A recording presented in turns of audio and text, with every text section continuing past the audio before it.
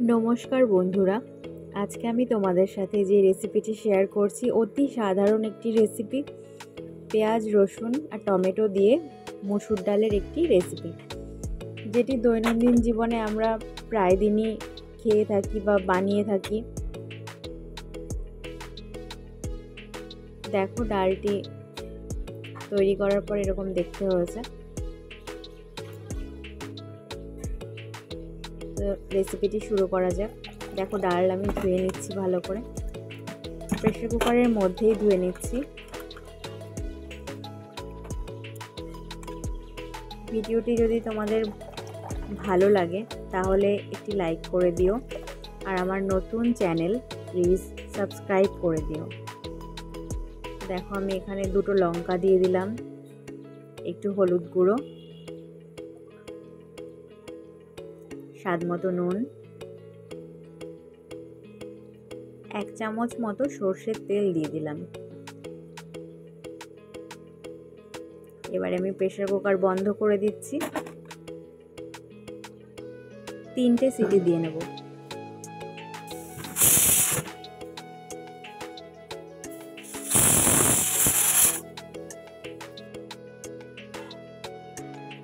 Pressure কুকারে ডাল সেদ্ধ করা হয়ে গেছে, আমি নামিয়ে নিয়েছি। দেখো, আমি কড়াইতে সর্ষে তেল দিলাম।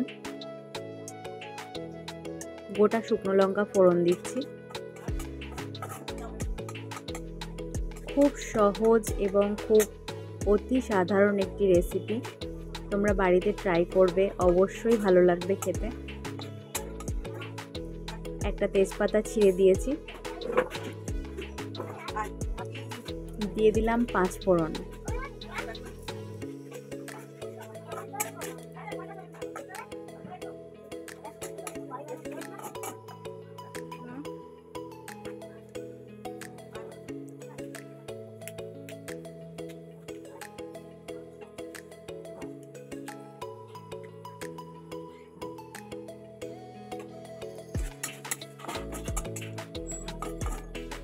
পাঁচফোড়নের কালারটা একটু চেঞ্জ হয়ে যাবে। তারপরে দিয়ে দেব পেঁয়াজ কুচি।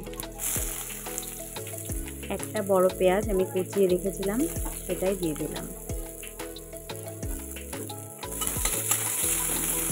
এই মসুর ডাল রেসিপিটা একটু গাঢ় হয়, বেশি পাতলা হবে না। দেখো রসুনগুলো আমি থেতো করে নিচ্ছি। রসুনগুলো আমি এক একটা করে থেতো করে নিচ্ছি।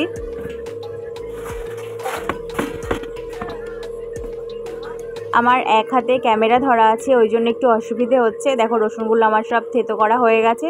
এবারে আমি রসুনগুলো দিয়ে দিলাম। রসুনটা দিয়ে আমি খুব ভাজবো না, শুধু কাঁচা গন্ধটা একটু ছেড়ে গেলেই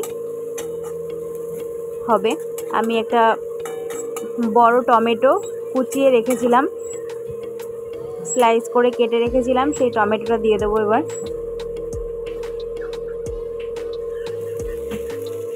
দেখো, টমেটোটা দিয়ে দিলাম। টমেটোটা দিয়ে ভালো করে নেড়ে চেড়ে নেব।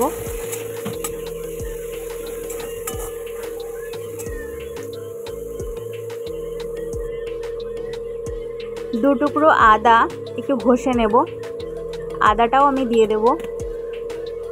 এই ডালটা শুধু ভাতের সাথে নয় ভাতের সাথে নয় সরি পরোটার সাথেও তোমরা খেতে পারো। ডালটা একটু ঠকঠকে গাঢ় হবে খুব পাতলা ডাল হবে না এটা।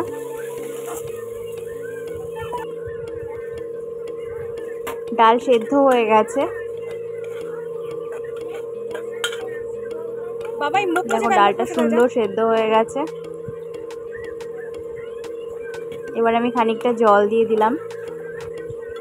আমি দুশো গ্রাম ডাল নিয়েছিলাম।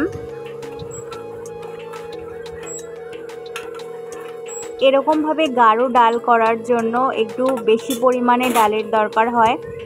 খুব অল্প ডাল হলে অল্প পরিমাণেই ডালটা তৈরি হবে।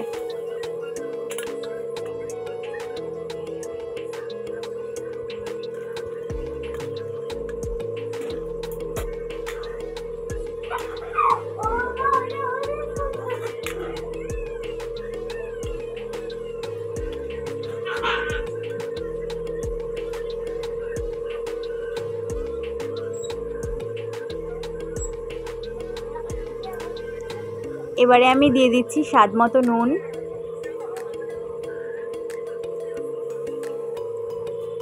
গ্যাসের ফ্লেমটা আমি হাই করে দিলাম। দেখো ডাল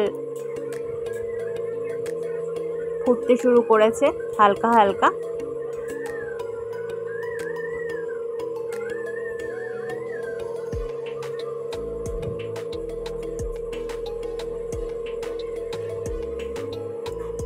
ডালের রেসিপিটা অতি সাধারণ। অতি সাধারণভাবেই প্রতিদিন যেভাবে ডাল তৈরি করে থাকি ঘরে, সেভাবেই ঘরোয়া পদ্ধতিতে আমি ডালটা তৈরি করেছি।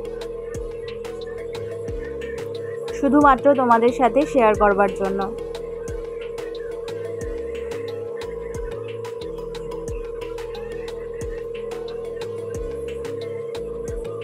এবারে আমি দিয়ে দিচ্ছি কারি পাতা। তোমরা চাইলে ধনে পাতাও দিতে পারো। কারি পাতার যে সুন্দর ফ্লেভারটা আছে, সেটা ডালের মধ্যে চলে আসবে। তবে অনেকেই আছো যারা কারি পাতা একদম পছন্দ করো না, তারা ধনে পাতা ব্যবহার করতে পারো। দেখো, ডালটা এরকম এসছে রঙটা আর খেতেও খুবই টেস্টি হয়।